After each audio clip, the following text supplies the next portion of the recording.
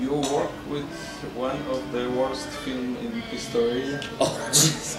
Titanic, animated Titanic. Okay, I have to tell you about that. I, I was in shock when they uh, asked me.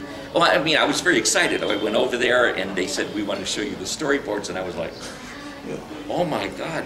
I said, Everybody dies at the end of this, you know. No, they don't.